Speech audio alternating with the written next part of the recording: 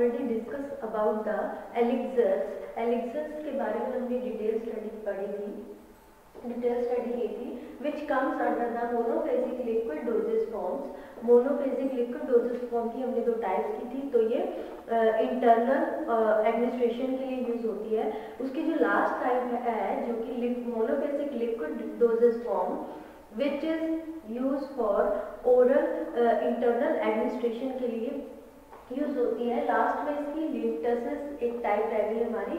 ये कंप्लीट करेंगे।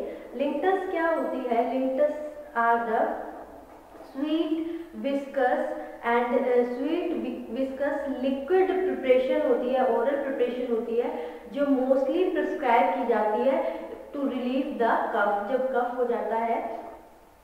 तब उसको प्रिस्क्राइब किया जाता है लिमिटस को।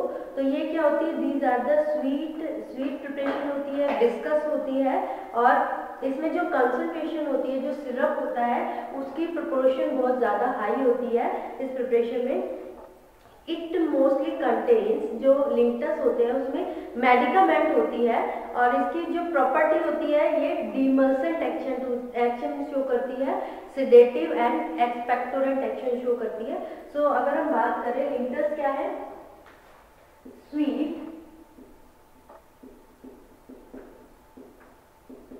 विस्कस स्वीट होती है विस्कस होती है लिक्विड प्रिपरेशन ओरल प्रिपरेशन होती है। ओरल प्रिपरेशन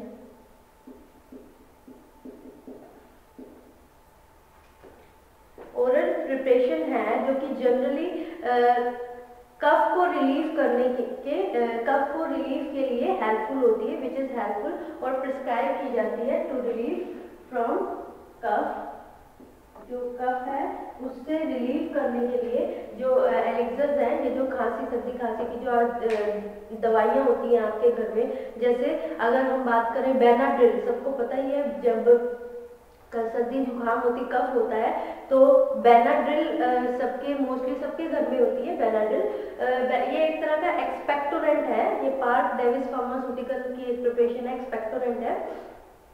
तो इसमें जो इसका एक्शन होता है इस विस्कस प्रिपरेशन में मेडिकामेंट भी होता है और इसका एक्शन क्या होता है? सबसे पहले डी डीमल्सेंट इसकी प्रॉपर्टीज़ की बात करें, किस तरह की प्रॉपर्टीज़ होती है इसकी?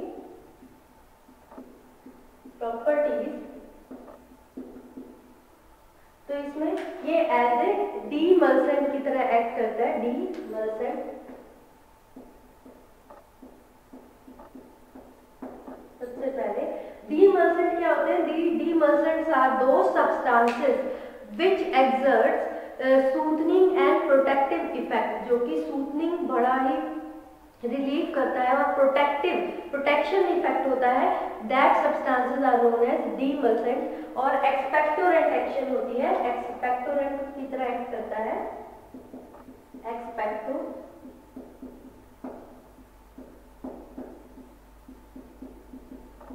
एक्सपेक्टोरेंट क्या होती है expectorant are those substances which are use to relieve the cough by expel out the जो म्यूकस है उसको एक्सपेल आउट करके ये कफ से रिलीव करता है।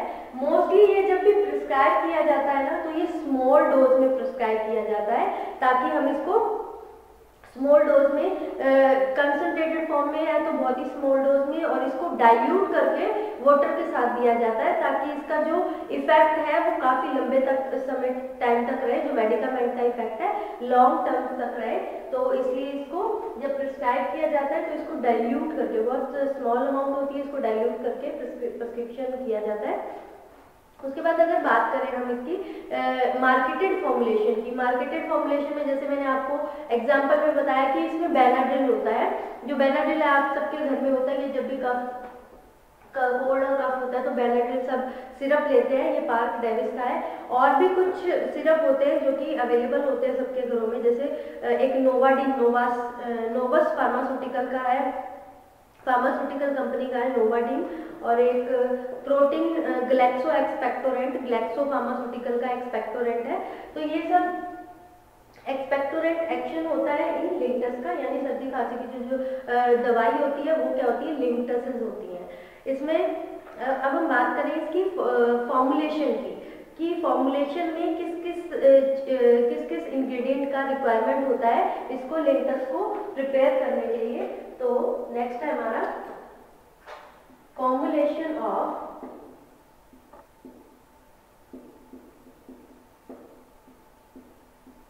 Linctus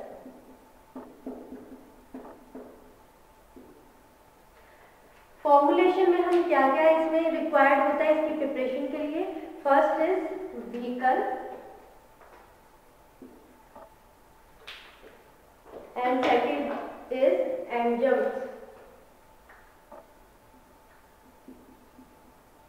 and second one is adjuncts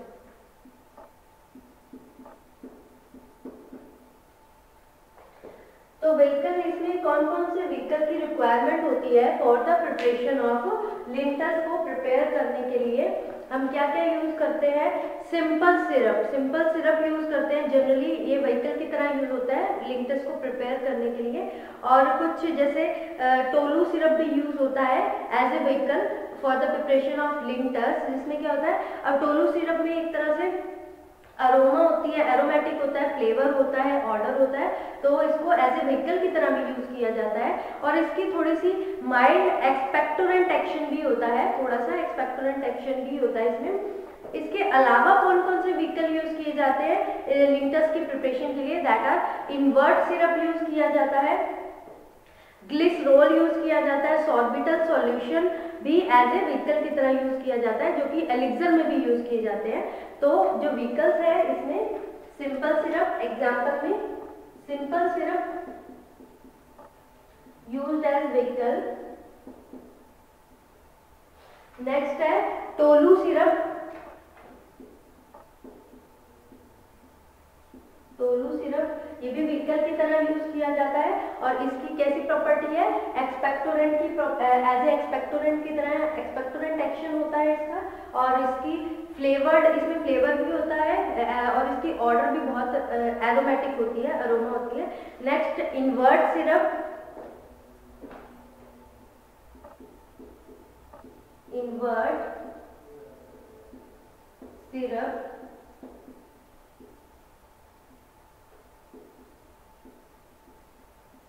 glycerol sorbitol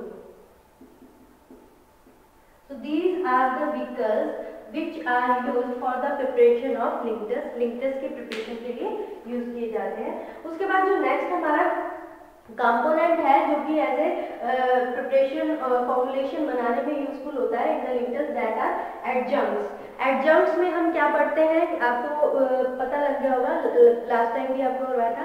chemical stabilisers सबसे पहले आ जाएगा chemical stabilizer chemical stabilizers chemical stabilizer इसलिए यूज़ होते हैं? स्टेबलाइज करने को। जो भी प्रिपरेशन है, जो भी फॉर्मुलेशन है, उसको स्टेबलाइज करने के लिए अलग अलग तरह के सॉल्वेंट या अलग अलग तरह के इंग्रेडिएंट यूज़ किए जाते हैं ताकि वो स्टेबलाइज होए।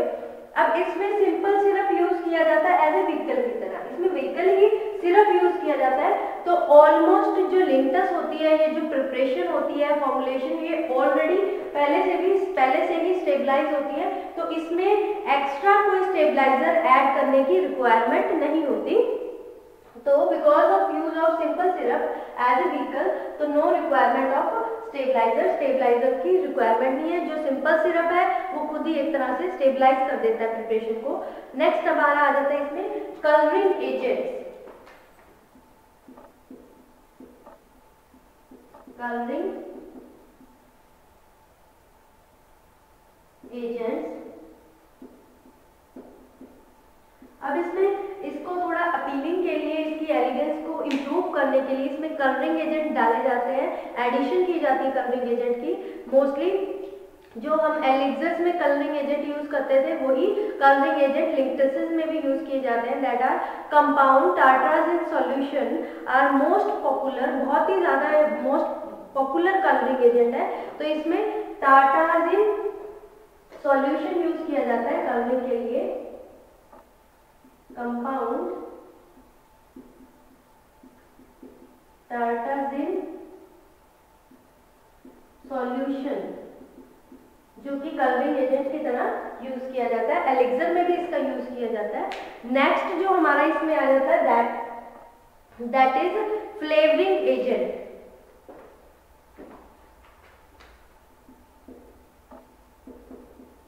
flavouring agents flavouring agents का क्या काम होता है? फ्लेवर को इम्पार्ट करना फ्लेवर ऐड करना. फ्लेवर्स को इम्पार्ट करना ताकि उसका जो भी मतलब कि अनपैलेटेबल टेस्ट है, उसको मास्क करने के लिए फ्लेवरिंग एजेंट ऐड किया जाता है। अब इसमें कौन कौन से फ्लेवरिंग एजेंट ऐड किए जाते हैं? इसमें ब्लैक करंट सिरप ऐड किया जाता है लेमन सिरप ऐड किया जाता है टू फ्लेवर द लिंटस को फ्लेवर करने के लिए और एक्स्ट्रा इसमें बेंजल्डिहाइड ऐड किया जाता है। बेंजल्डिहाइड का एक तरह से आमंड की तरह इसका टेस्ट होता है। आमंड मीन्स बादाम की तरह इसका टेस्ट होता है। तो ये यूज़ किए जाते हैं एज अ फ्लेवर फ्लेवर की तरह यूज़ किए जाते हैं इन द लिंटसेस लिंटसेस में। तो लेमन सिरप फ्लेवरिंग एजेंट में lemon syrup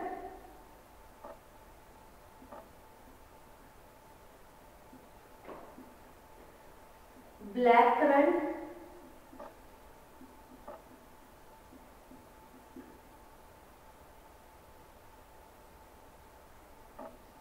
syrup and benzaldehyde भी इसमें एज ए फ्लेवरिंग एजेंट की तरह यूज़ किया जाता है।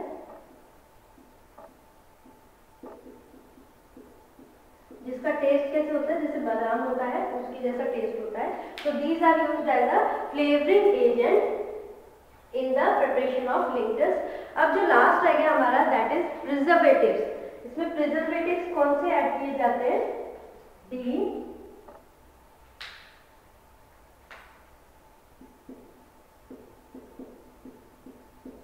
प्रिजर्वेटिव्स प्रिजर्वेटिव्स की बात की जाए तो इसमें जो प्रिजर्वेटिव इसमें ऐड किए जाते हैं अब इसमें देखो सिंपल सिरप और टोलू सिरप ये इटसेल्फ सिर्फ़ itself act as a preservative जो कि माइक्रोबियल ग्रोथ नहीं होने देता ये आपको मैंने एलिक्सर के लेक्चर में भी बताया था कि उसमें अगर vehicle as a syrup use होता है इसमें तो और भी डिफरेंट व्हीकल्स यूज़ होते हैं, इसमें तो vehicle simple syrup tolu syrup ये व्हीकल की तरह यूज़ हो रहे हैं तो syrup itself act as a preservative act करता है, क्योंकि उस, इसमें जो माइक्रोबियल ग्रोथ है, इसमें जो सुक्रोज होती है सिरप में, वो माइक्रोबियल ग्रोथ नहीं होने देता, उसको प्रिवेंट करता है माइक्रोबियल ग्रोथ को तो ये प्रिजर्वेटिव की तरह एक्ट करता है। उसके बाद व्हीकल हम टोलू सिरप की बात करें, टोलू सिरप में तो एक तरह से एंटी बैक्टीरियल एक्शन होता है due to presence of cinnamic acid and benzoic acid तो वो खुद ही एज ए प्रिजर्वेटिव की तरह एक्ट करते हैं। इसके अलावा इसमें अगर फिर भी रिक्वायरमेंट होती है प्रिजर्वेटिव की तो क्लोरोफॉर्म वाटर क्लोरोफॉर्म स्पिरिट और benzoic acid as a preservative की तरह यूज़ कर सकते हैं। अदरवाइज़ इसमें व्हीकल ही एक्ट करता है। जो vehicle itself act as a preservative वो खुद ही प्रिजर्वेटिव की तरह एक्ट करता है। तो प्रिजर्वेटिव में हम क्या कह सकते हैं? कि simple syrup and tolu syrup simple syrup tolu syrup ये खुद ही प्रिजर्वेटिव की तरह एक्ट करते हैं। टोलू सिरप की बात की जाए, टोलू सिरप में एक तरह का फ्लेवर होता है और इसमें benzoic acid and cinnamic acid present होता है। बेंजोइक एसिड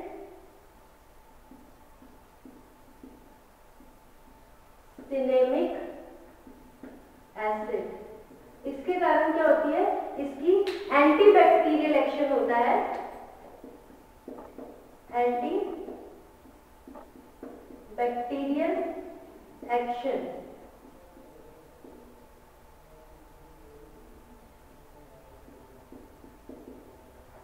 एंटीबैक्टीरियल एक्शन होता है, जिसके कारण जो माइक्रो ऑर्गेनिज्म होते हैं मोल्ड है, उसकी ग्रोथ नहीं होती। तो इसमें ये प्रिजर्वेटिव होती है। So this is all about the formulation of linctus linctus में क्या होता है? दो तरह के कंपोनेंट्स यूज़ किए जाते हैं। First one is vehicle and second one is adjuncts vehicle में हम simple syrup, tolu syrup, invert syrup, glycerol और सॉर्बिटोल एज ए व्हीकल की तरह यूज़ करते हैं for the preparation of linctuses and in adjuncts chemical stabilizers इसमें syrup use हो रहा है तो ये ऑलरेडी ही स्टेबलाइज है। कलरिंग एजेंट में compound tartrazine solution used as a colouring agent जो कि कलर इंपार्ट करता है हमारे लिंकस को। फ्लेवरिंग एजेंट में lemon syrup black currant syrup and benzaldehyde अपने डिफरेंट डिफरेंट फ्लेवर देता है। ब्लैक करंट ब्लैक करंट का फ्लेवर देता है। लेमन का फ्लेवर के लिए लेमन सिरप यूज़ होता है। बेंजल्डिहाइड जो कि आमंड लाइक टेस्ट देता है। नेक्स्ट है प्रिजर्वेटिव में हमने सिंपल सिरप और टोनो सिरप अपने इटसेल्फ एक्ट करते हैं। प्रिजर्वेटिव की मोल्ड की ग्रोथ नहीं होने देते। माइक्रो ऑर्गेनिज को प्रिवेंट करते हैं, उसकी ग्रोथ अगर इसके अलावा फिर भी रिक्वायरमेंट पड़ती है तो benzoic acid and chloroform spirit use as a preservative उसके बाद इसका एग्ज़ाम्पल आ जाएगा. एग्ज़ाम्पल में हम कर सकते हैं codeine linctus codeine linctus example codeine linctus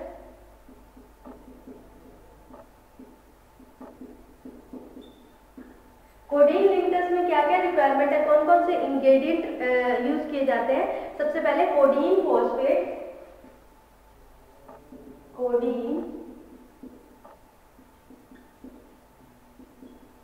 phosphate उसके बाद lemon syrup benzoic acid solution lemon syrup benzoic solution and उसके बाद chloroform spirit compound tartrazine solution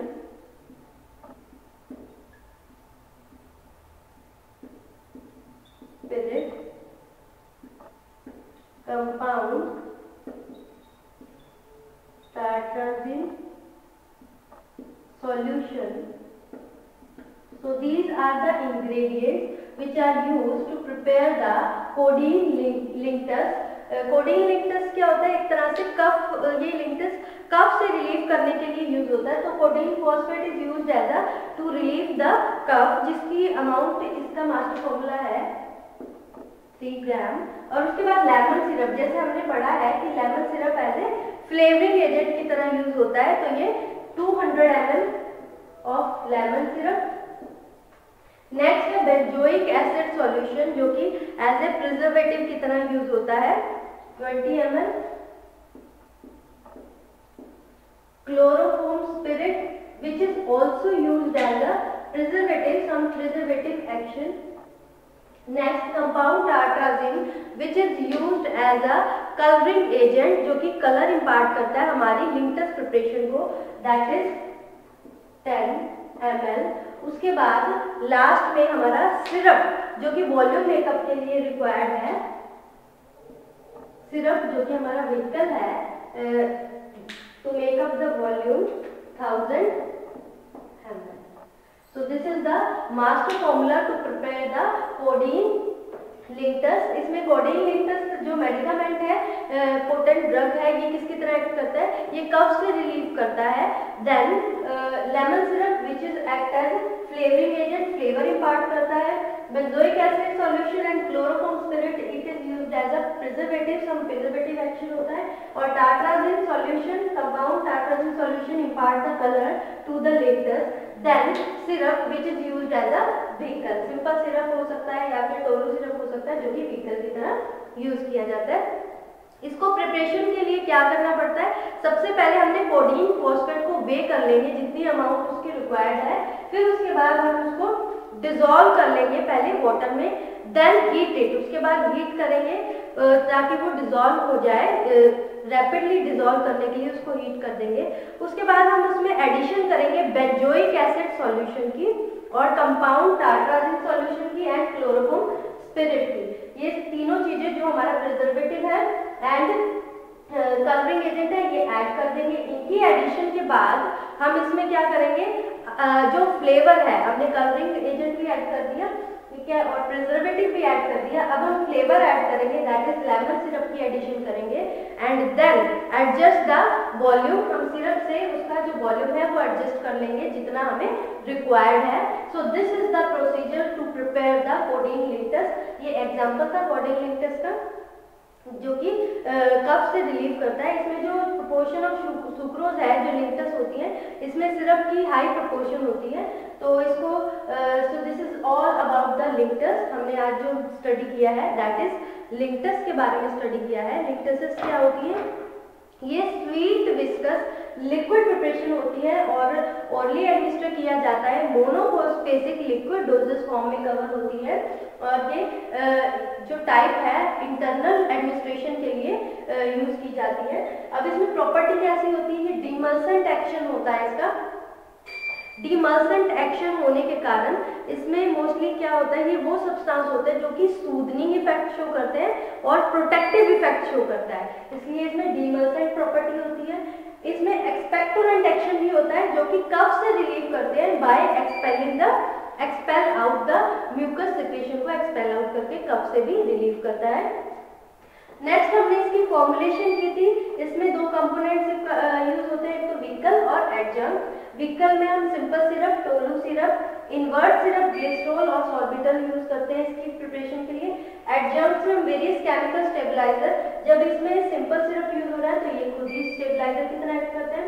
different colouring agent जो बहुत पॉपुलर कलरिंग एजेंट इसमें यूज़ किया जाता है that is compound tartaric solution जो कि एलिक्सर में भी यूज़ किया जाता है।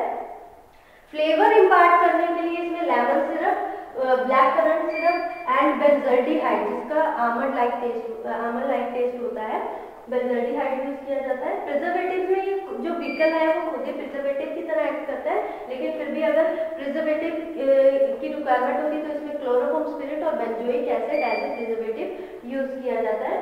इसमें बेंजोइक एसिड जो टोलू सिरप है, इसमें बेंजोइक एसिड और सिनेमिक एसिड होता है, जिसकी एंटीबैक्टीरियल एक्शन होता है, जिस लिंकस में सोलो सिरप यूज़ हो रहा है, उसमें प्रिजर्वेटिव एडिशनल प्रिजर्वेटिव ऐड करने की रिक्वायरमेंट नहीं पड़ती। और इसमें एग्जांपल में हमने कोडीन लिंकस किया है। इसमें कोडीन फॉस्फेट होता है, जो कि कब से रिलीव करता है। Lemon syrup impart the flavour to the syrup to the linctus benzoic acid solution and chloroform spirit used as a preservative इसकी प्रिजर्वेटिव एक्शन होता है। Compound tartar solution act as a ये इम्पार्ट करता है colour to the preparation and then syrup जो कि vehicle की तरह यूज़ किया जाता है।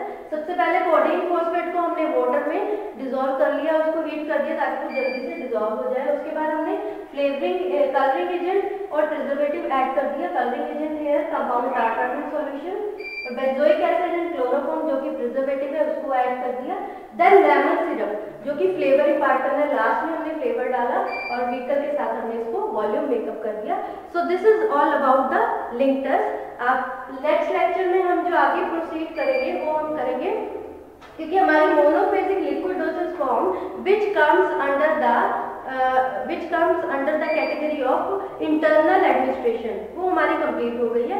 नेक्स्ट लेक्चर में हम करेंगे monophasic liquid dosage form which comes under the category of external administration जो कि external mean for the external administration इसमें हमने तीन टाइप्स की थी कि तीन अलग अलग टाइप्स आ जाती हैं। एक तो लिक्विड uh, जो कि अप्लाई किया जाता है स्किन पे and liquid mean for use in the mouth mouth में यूज़ किया जाता है और liquids to be instead in the body cavities ये तीन टाइप्स की थी। तो इनकी डिटेल्स हम नेक्स्ट लेक्चर में प्रोसीड करेंगे। This is all about the latest अभी आप इसको यहाँ तक स्टडी करो। Thank you students